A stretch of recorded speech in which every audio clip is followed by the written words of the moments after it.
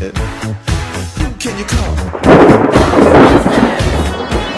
An invisible man sleeping in your bed. Oh, who you gonna call? Stop by this year's Davern Family Lights display at 3147 White Ash Drive in Tipp City.